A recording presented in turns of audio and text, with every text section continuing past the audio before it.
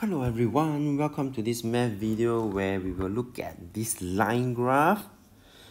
Shows the energy level of a person after drinking a booty. The advertisement claims you'll be full of energy after 30 minutes.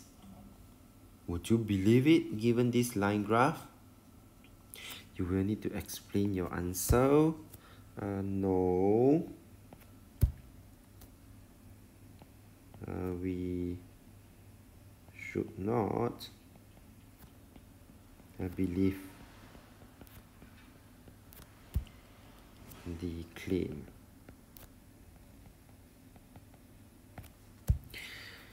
Why? Well,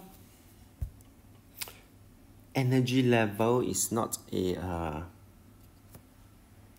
for one uh, energy level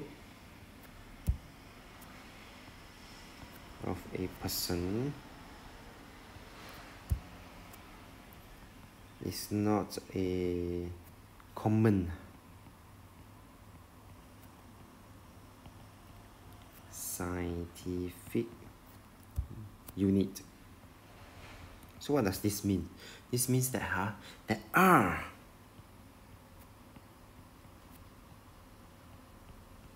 many factors affecting it, you know.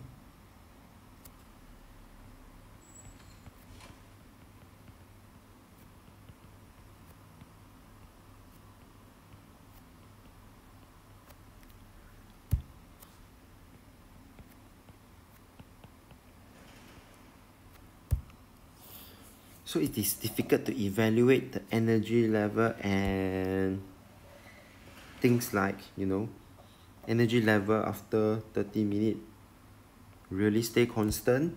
Can we really for sure say that whoa after 30 minutes the energy level is the same throughout? No we can't.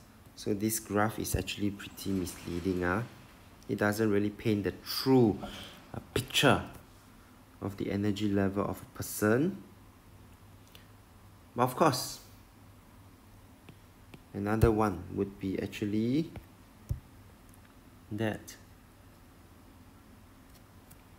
Should we start from zero? Should, should uh, energy level of a person start from zero? So this energy level, uh, of this person ah, without drinking a booty yet. Should we start from zero? Should not.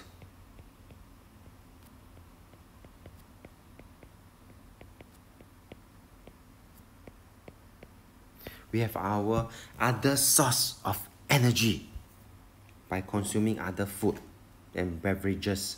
So should not start from zero. So how is this misleading? This creates a huge difference here. Okay? So it's trying to tell people that oh the change is huge. So that is something you also need to write it down. So it gives the impression uh, that the change is uh, large